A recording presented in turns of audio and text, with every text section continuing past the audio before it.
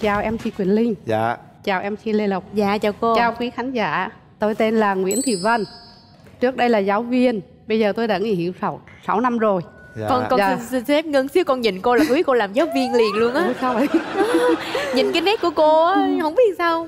Hay đặt nguyên cái chữ giáo viên liền luôn á. Hay quá vậy. Dạ. Rồi cô cảm ơn Lê Lộc nhé dạ. Dạ em tên là Đỗ Thị Thu Thảo.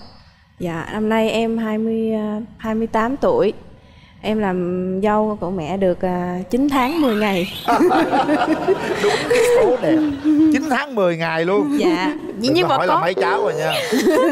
Lỡ ta có mấy tháng rồi sao? Có chưa có chưa có tin vui chưa? Dạ chưa ạ. Thấy chưa? Dạ. Tôi hỏi là mới làm dâu 9 tháng 10 ngày cứ quay hỏi vậy được mấy bé?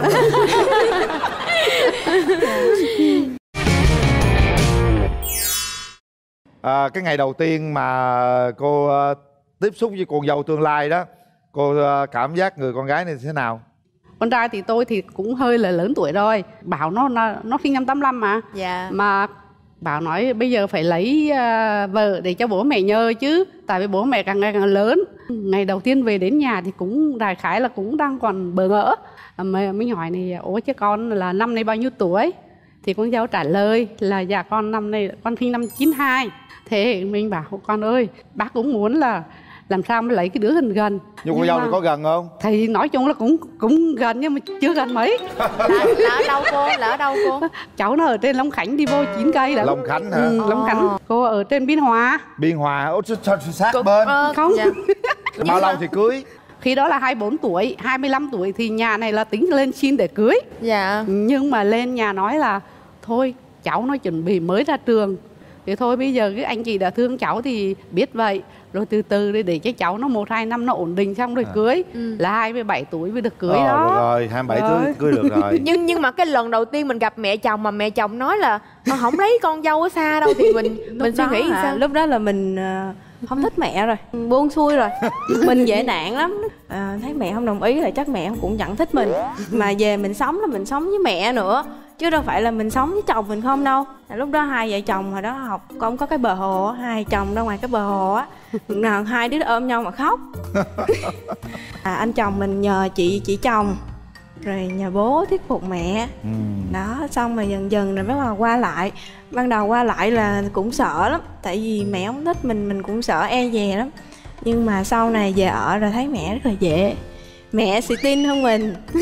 Zalo facebook cái gì mẹ cũng xì tin hết. Nhà nấu ăn nè rồi nhà cửa các thứ cũng hợp rồi à, nhiều mình mới về làm dâu á thì à, mình cũng hay lúa nhà mình nấu bếp củi chứ đâu có biết là cái bếp mình thấy cái bếp ga xong có gắn cái cái cái à, nói hút hút á mình nói À. mình nói với chồng chứ mình cũng dám nói với mẹ.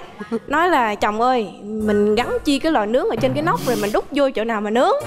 Chồng mình mới nói là không cái đó là cái đồ hút máy hút. À. đó là nhiều đồ vật dụng ở nhà mình không biết sử dụng. Dạ. mẹ vậy chứ mẹ chị mình không à à. từ cái nồi cơm vậy nồi cơm ở nhà mình à, ở dưới nhà mình cái nồi cơm mình vẫn chà được. Ừ. còn trên này mình thấy cái lớp chống dính nó chóc chóc á mình tưởng là nó dơ. À. thế là mình cũng lấy đồ chùi nồi ra mình ngồi mình chùi mình chà thiệt kỹ cho nó sạch.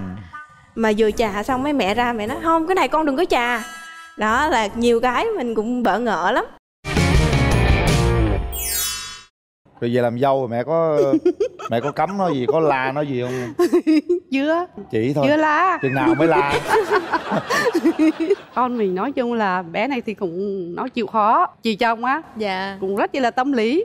Mẹ chồng mà có gì là bắt đầu là gọi điện học chị chồng À. chị chồng bắt đầu gọi điện về nói với mẹ. À. ờ đó con Dạ. gái mình. Nói ờ mẹ như vậy như vậy á.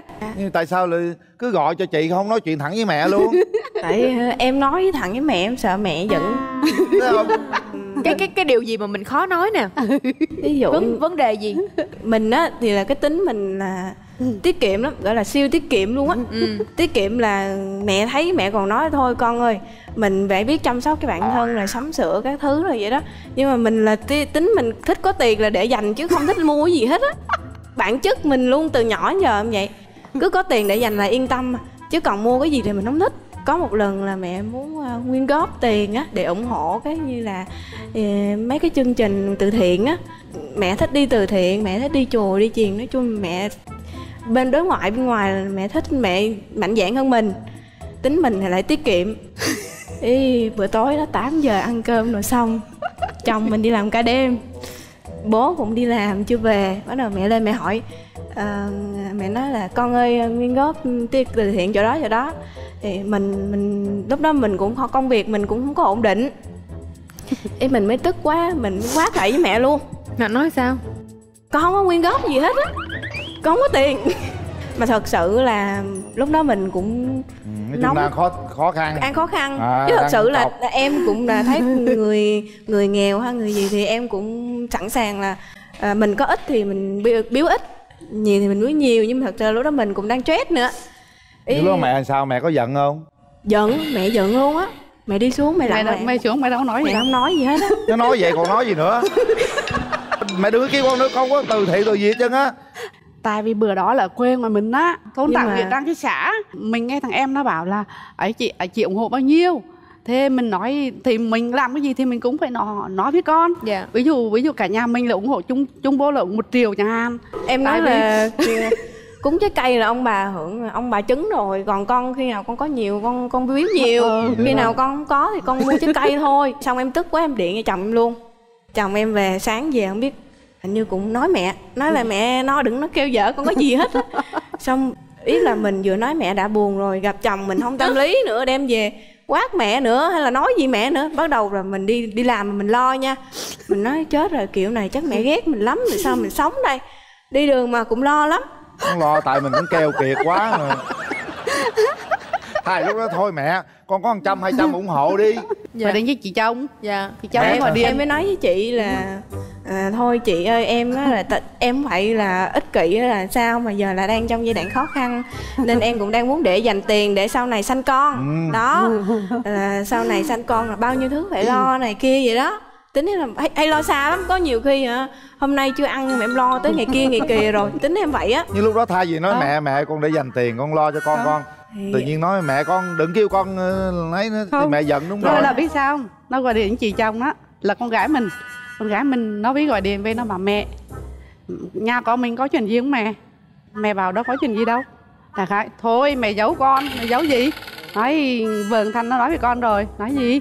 Nói là hồi tối là nó có gì đâu với mẹ đây thôi mẹ đừng ấy qua. Nhiều khi nó trẻ người nó già nó ăn nói chưa tính với ai. Không có đưa tiền làm từ thiện để giữ tiền lo cho con cái. Nhưng mà có ờ, dành tiền lo cho mua quà cho mẹ không? Dạ có. Có không? Ví dụ như sinh nhật mẹ em mua đầm em tặng mẹ. Có được rồi. Lâu lâu mẹ con cũng ăn mì cây rượu mẹ đang mì cây uống trà sữa. Trời chung đi. Bố chồng chồng đi làm thì hai mẹ con ở nhà. Buổi chiều là không cần ăn uống nấu gì hết đi ăn. Dạ. Vậy thôi. vậy là hợp với nhau quá rồi. nhưng mà có giờ tự đâu. em cảm giác là mình có cái tật xấu gì đối với mẹ không? Hay là có. mình có cái gì không? Em em thì à, thức khuya thì em thức được. Nhưng mà dậy sớm thì em không có dậy được. Ví dụ như chồng em làm 7 giờ 6 giờ anh dậy anh vệ sinh cá nhân là anh đi làm luôn. Mẹ có nhắc một hai lần là nói là à, con dậy sớm con hâm đồ ăn lại rồi để cho chồng con ăn rồi 7 giờ anh vô ca đi làm. Hai lần nhưng mà khi mà mình thức dậy mình hỏi chồng ơi em em dậy sớm hâm đồ ăn cho anh nha. Chồng nói thôi ngủ đi để anh vô công ty ăn cũng được. Thế là mình ngủ luôn. Tại sao? xong rồi tới lần bố chồng bố cũng không có nhắc không có nhắc thẳng cho mình. À, bố chồng nhắc thầm qua mẹ nói à, bà nói với dâu dậy sớm hâm đồ ăn cho con trai nó ăn, ăn nó đi làm chứ để nó ăn ở ngoài không hợp vệ sinh. Với lại sáng vợ chồng ăn chung cho nó tình cảm.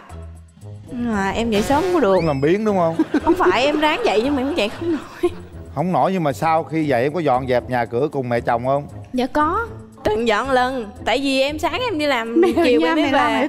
à à à à còn thật sự mới cũng có 9 tháng 10 ngày thôi. Sau này ở càng lâu á dạ đôi khi ờ, nó sẽ sinh ra rất là nhiều thứ. Dạ. Thành ra giờ cũng cố gắng ờ, mình dậy sớm chút. Mình Dạ. chăm sóc mẹ chồng chăm sóc bố chồng mặc dù những cái chuyện rất là đơn giản pha trà cà phê làm buổi sáng cho chồng ăn nữa. Chứ nếu cứ thầy hoài á là chắc chắn là lâu dài nó không được đâu không ổn được không? Em vừa nhưng mà để có con đi rồi em dậy sớm. Có con còn làm biến dữ chưa nữa. có con mà dậy không nổi có con sao dậy nổi? Em hứa mẹ rồi khi nào con có con là con dậy sớm lo cho con luôn. Có con vậy lo cho con đâu cũng đâu lo cho mẹ chồng đâu đúng không?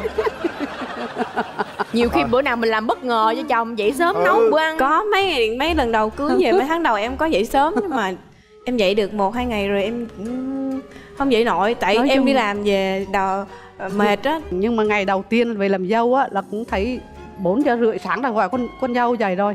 Rồi 5 giờ, năm rưỡi 6 giờ thấy bữa đó ngày đầu tiên mình đến, ủa, con dậy làm gì vậy? Dạ má con gọi dậy, má con gọi dậy làm gì? Dậy để pha trà, pha, nấu nước pha trà cho ba mẹ. Nói không, bố mẹ không uống trà uống nước vậy đó lên ngủ đi. Kiểu- em lên ngủ tiếp. tại cô thấy chưa? Nó cố gắng thức dậy của nó thôi mày ngủ đi cái nó quen ngủ luôn. Đúng đâu mà thôi không sao đâu. Dạ không sao đâu đúng không? Nhỏ. hôm nay chồng em ờ, không có đến nhưng mà chồng em ờ, có gửi lá thư nhờ anh Quyền Linh đọc giùm nha. Dạ. Mẹ ơi vợ con mới về làm dâu nên cũng còn nhiều điều thiếu sót lắm thiếu nhiều lắm.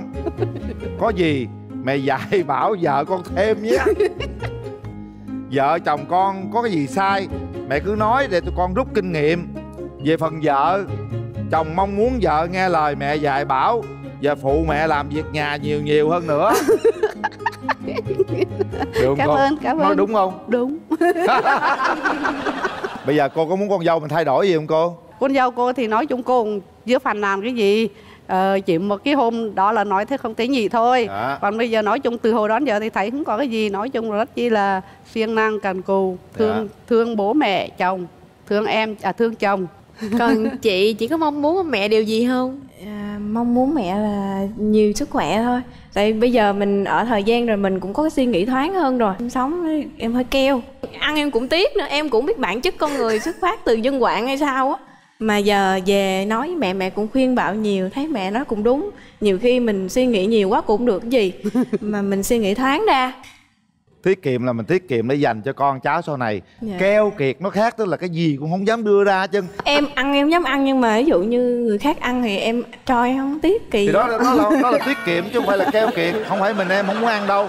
Nè đây còn không muốn ăn nữa không muốn ăn miếng không nào có luôn. không ăn là không ăn tinh bột thôi chứ không phải là khó ăn uống tiền. nước không à. Rồi cảm ơn Rồi. cô với lại à, Rồi. em tham gia chương trình. Rồi, hai mẹ con ơn. ôm nhau cái nào? Dạ. Ôm chặt nhau cái nào? Rồi. Hy vọng chúng ta vẫn nụ cười như thế này.